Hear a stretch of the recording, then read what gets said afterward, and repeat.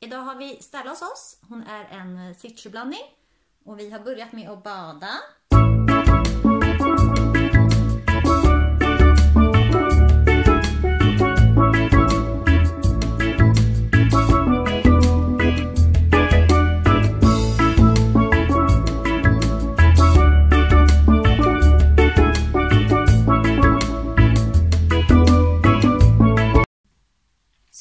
Ska vi börja klippa pälsen. Vi kör kamskär gul, 16 millimeter.